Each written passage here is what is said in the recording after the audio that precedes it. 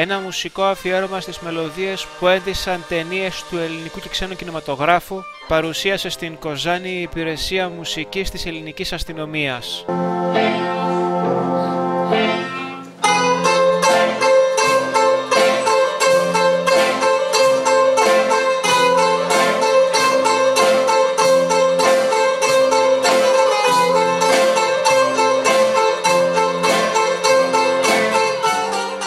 Η εκδήλωση με τίτλο Σαν παλιό σινεμά πραγματοποιήθηκε στην στέγη Ποντιακού Πολιτισμού της Ευξήνου Λέσχης Κοζάνης. Ο σκοπός μας εδώ στην Κοζάνη είναι ε, καθαρά για φιλανθρωπικούς λόγους.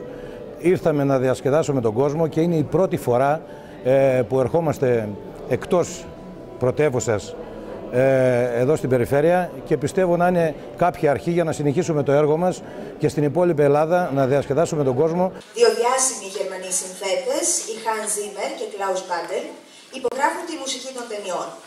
Η ενοργάνωση και η διασκευή των μουσικών συνθέσεων των πυρετών της Καραϊβικής έχει γίνει από τον αντιπαστηνόμο Ιωάννη Μητσόπουλο.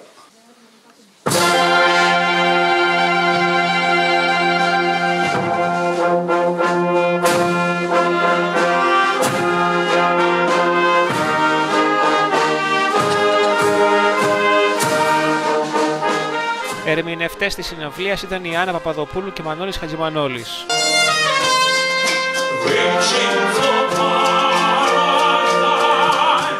Υπέροχα γιατί βάζω και εγώ το λιθαράκι μου. Αφενός. Αφετέρου, συνεργάζομαι με μια θαυμάσια ορχήστρα.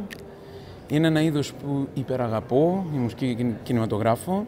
Αισθάνομαι καταπληκτικά. Πρώτα απ' όλα θέλω να ευχαριστήσω την Γενική Αστυνομική Περιφερειακή Διεύθυνση ε, Δυτικής Μακεδονίας ε, για αυτή την ευκαιρία για να είμαι σήμερα με την καταπληκτική μπάντα της αστυνομίας.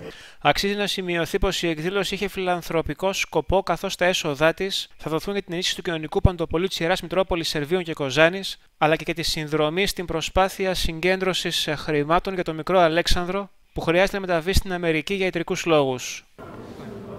Ένα έργο ιερών και Άγιων από πλευράς της Διευθύνσεως της Ελλάς, της Κοζάνης και της Δυτικής Μακεδονίας γιατί κέντρον έχει τον άνθρωπο και οι πατέρες της Εκκλησίας είπαν είδες τον ανθρωπόν σου, είδες τον Θεόν σου. Επιτρέψτε μου να συγχαρώ διπλά την Γενική Αστυνομική Διεύθυνση της Περιφέρειας Δυτικής Μακεδονίας. Γυναίκες και άντρες του όμοιρου.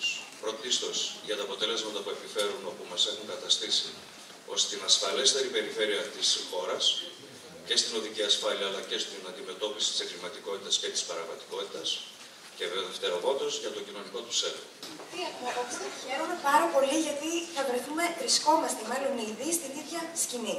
Με μια πάρα πολύ ωραία την υπηρεσία μουσικής της ελληνικής αστυνομίας και νομίζω ότι η εκδήλωση θα είναι πάρα πολύ ξεχωριστή. Τα κείμενα και την παρουσίαση της εκδήλωσης ανέλαβαν οι δημοσιογράφοι του ΦΛΑΣ Κατερίνα Μαρκοπούλου και Βάσο Ανουλίδου. Και θα γέμιζες μια αίθουσα με πολύ με τόσο κόσμο. Βεβαίως, λοιπόν, να σας καλωσορίσουμε σε μια ξεχωριστή μουσική συνάντηση που θα σας μεταφέρει, όπως θα δείτε και στην πορεία, σε πάρα πολύ ωραίες στιγμές του ξένου και ελληνικού κινηματογράφου.